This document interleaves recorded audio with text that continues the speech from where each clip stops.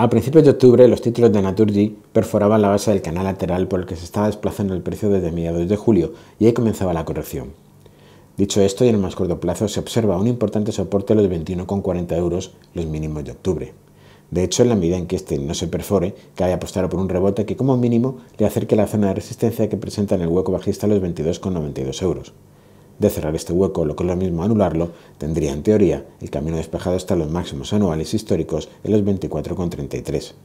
Ahora bien, la perforación del soporte al que hemos hecho referencia sería una nueva señal de debilidad antesala de un movimiento hacia la zona de los 19,50-19,70 euros.